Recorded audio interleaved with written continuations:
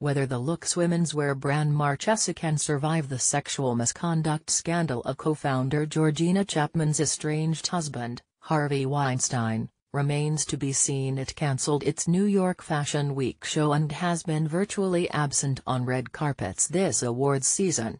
The company has been a mainstay in both arenas for a decade, until accusations against the movie mogul began piling up including revelations that Weinstein once bullied stars into wearing his wife's designs. Since, the British Chapman has had little to say, initially decamping to London after announcing she was leaving her husband and condemning his behavior.